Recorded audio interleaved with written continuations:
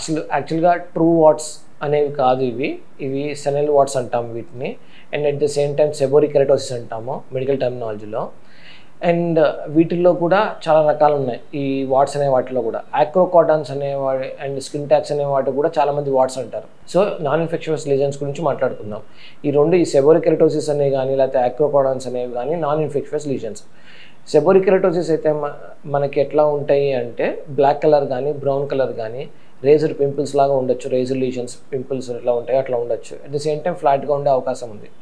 And ఇవి face పైన రావచ్చు నెక్ బాడీ పైన ఎక్కడైనా వచ్చే అవకాశం ఉంటుంది.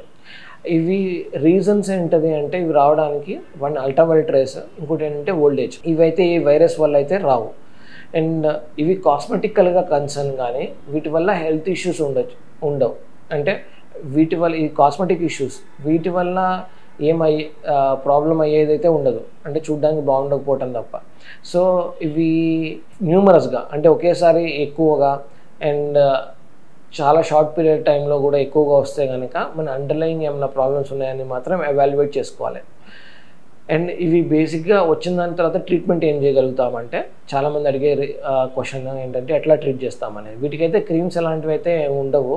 క్రీమ్స్ పెట్టినా సరే ఏంటంటే పక్కన పిగ్మెంటేషన్ డార్క్ స్పాట్స్ రావటం పక్కన స్కిన్ ఇరిటేట్ అవటం అనేది జరుగుతుంది.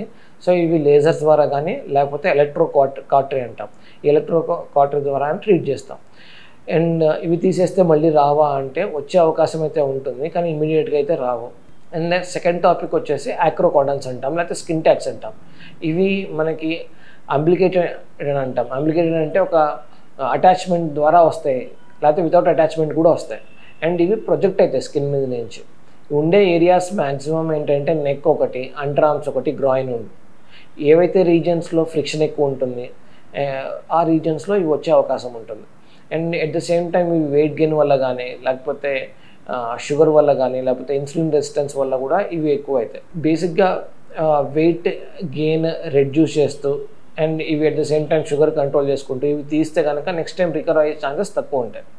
ఇవి కూడా ఏంటంటే మనకి ఇవి రిమూవ్ చేయడానికి మన క్రీమ్స్ అట్లా ఏమీ ఉండవు. ఒకవేళ మన క్రీమ్స్ వాడినా కొన్ని రకాల క్రీమ్స్ వాడితే ఏమవుతుందంటే సరౌండింగ్ స్కిన్ కూడా ఎఫెక్ట్ అయ్యే ప్రాబ్లం అయితే ఉంది. సో ఇవి ఇవి మనం ఎలక్ట్రోకాటరీ కానీ లేజర్స్ యూజ్ చేసి తీస్తాం.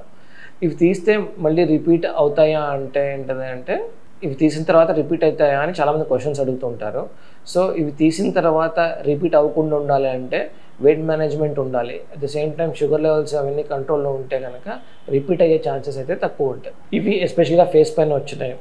సో ఫేస్ పైన వచ్చినప్పుడు ఏం చేయాలి అంటే మనము సన్ స్క్రీన్ వాడటం అలవాటు చేసుకున్న తర్వాత ఇవి లిజన్స్ తీయడం జరుగుతుంది.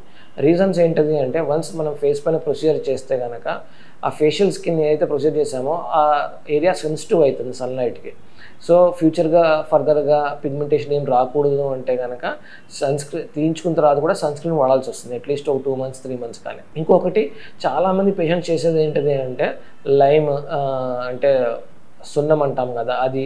లేకపోతే ఇంకా కొన్ని రకాలైన క్రీమ్స్ పెడతారు ఫేస్ పైన కూడా. అవి పెట్టడం వల్ల ఏమవుతుందంటే లీజన్ పోయే ఛాన్స్ అయితే ఉంటుంది కానీ అట్ ద సేమ్ టైం ఏంటంది అంటే డార్క్ స్పాట్స్ వస్తాయి. ఆ డార్క్ స్పాట్స్ అనేది ఫర్దర్గా పర్మనెంట్గా ఉండే కూడా అవకాశం ఉంటుంది. So don't experiment with face first always consult it a certified dermatologist thank you Hit TV app all the success for their launch please download the app download the Hit TV app now please download the app now please download the app now please download the app now download the app now